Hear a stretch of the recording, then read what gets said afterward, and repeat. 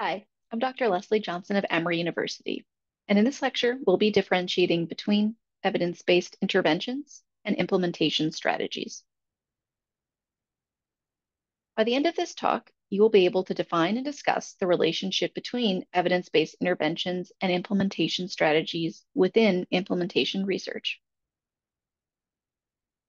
Our evidence-based interventions can take many forms. You're probably most familiar with these taking the form of policies, programs, procedures, practices, or even pills. Say, for example, the prescription of statins to re reduce the risk of death in post-stroke patients, or perhaps the diabetes prevention program. They may also be principles or products, like mHealth apps to increase physical activity, or the principle of doing prevention before treatment.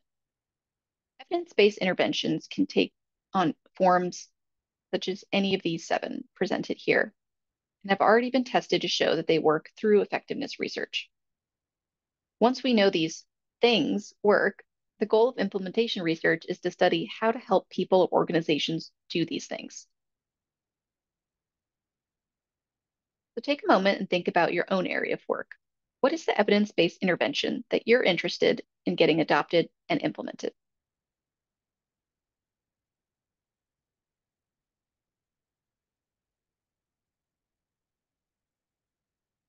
Now that you have in mind the thing that you're interested in implementing to address an unmet need, you can consider how best to support people in doing it, what we refer to as implementation strategies. Implementation strategies are formally defined by Proctor and colleagues as methods or techniques used to enhance the adoption, implementation, and sustainment of, of evidence-based practices or programs. Module 5a, we'll go into greater detail about implementation strategies.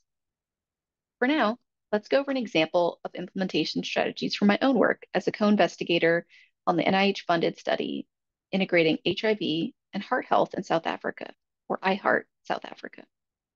This study aimed to enhance hypertension screening, treatment, and management among people with HIV in South Africa. Our evidence-based intervention of interest was guideline recommended blood pressure assessment and management.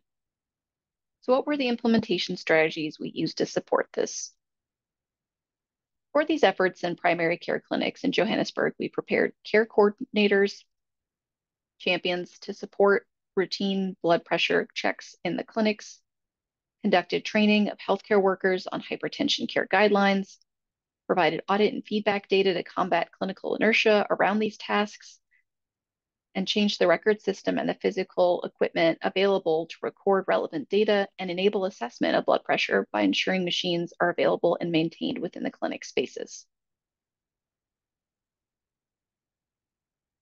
As we saw in this last example, the evidence-based intervention and the implementation strategies are distinct, and yet both are necessary to successfully achieve implementation outcomes.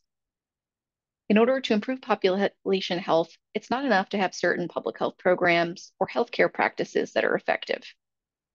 We need to think about the people responsible for implementing those programs and practices, the physical and social environment that they operate within, their attitudes and beliefs towards those evidence-based practices, and how these and other factors may hinder or enhance implementation success. What is necessary to support the process?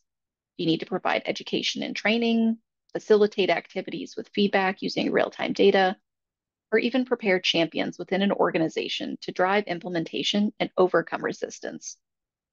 These are all examples of implementation strategies, and they are the how we get our evidence-based interventions or the what implemented.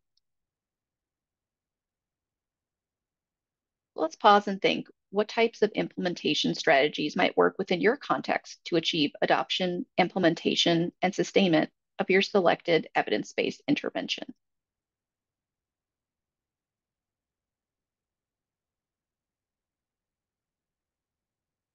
Once you have determined that there's a gap in implementing an evidence-based intervention within your setting and or population of interest, you can identify, tailor, and test implementation strategies to address these barriers to implementation.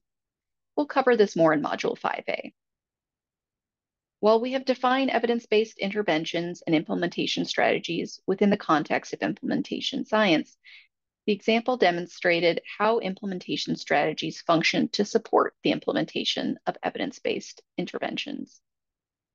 It's always best to ensure you have defined and clearly differentiated the what and the how of your implementation research project from the start. In conclusion, let's remember that the availability of evidence-based interventions alone are not sufficient for creating public health impact. We need to ensure that they are all put into practice.